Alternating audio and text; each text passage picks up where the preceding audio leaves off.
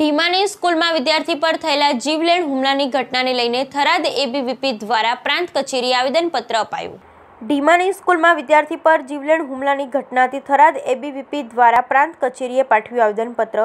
શાળામાં વિદ્યાર્થીઓ સુરક્ષિત નથી તો વિદ્યાર્થીઓ કોના ભરોસે? લોકમુખે ચર્ચાસ્પદ સવાલ. હુમલાખોરોને જાણે કે પોલીસનો જરા પણ ડર ન હોય તેમ હુમલાખોરો બેફામ બની ગયા છે ત્યારે વાવ તાલુકાના ઢીમાની સંસ્કાર વિદ્યાલય સ્કૂલમાં પરીક્ષા દરમિયાન હુમલાખોરોએ યોગેશભાઈ અમીરભાઈ ઢેમેચા નામના વિદ્યાર્થી પર લોખંડના સળિયા વડે જીવલેણ હુમલો કરતા સમગ્ર પંથકમાં ચકચાર મચી ગયો છે.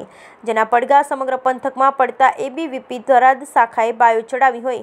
હુમલાખોરો સામે કાર્યવાહી કરવા થરાદ પ્રાંત કચેરી આવેદનપત્ર પાઠવી માંગ કરી હતી. રોષે ભરાયેલા એબીવીપીના કાર્યકરોએ જણાવ્યું હતું કે બનેલી ઘટનાને અખિલ ભારતીય વિદ્યાર્થી પરિષદ સ્પષ્ટ શબ્દોમાં વખોડી કાઢી નિંદા કરે છે. તેમજ જીવલેણ હુમલાથી ઇજાગ્રસ્ત થયેલ વિદ્યાર્થીને યોગ્ય ન્યાય મળે. અને કસૂરવાર હુમલાખોરો શખ્સો સામે કડક કાર્યવાહી કરાય તેવી માંગ કરી હતી.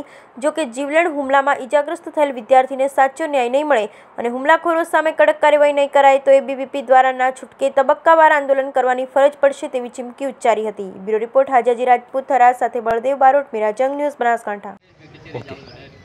નમસ્કાર.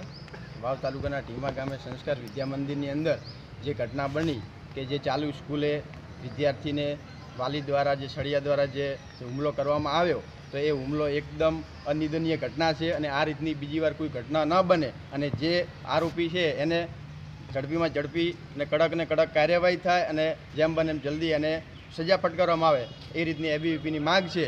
અને આ વસ્તુ જે બની એ હવે વારંવાર બીજી વખત કોઈ પણ સ્કૂલમાં આ રીતની ન બને. અને આ જે બની છે ઘટના, એની પાછળ વિદ્યાર્થીઓ અસુરક્ષિત છે એ સાબિત થાય છે. અને આજે પ્રાંત ઓફિસે આવેદનપત્ર આપવામાં આવ્યું અને તેમને બે દિવસનું અલ્ટિમેટમ આપવામાં આવ્યું કે જો આ વસ્તુ નહીં થાય, તો બે દિવસ પછી સોમવારે વાવ પોલીસ સ્ટેશનની અંદર એબીવીપી દ્વારા ધરણા કરવામાં આવશે. ભારત માતા કી જય.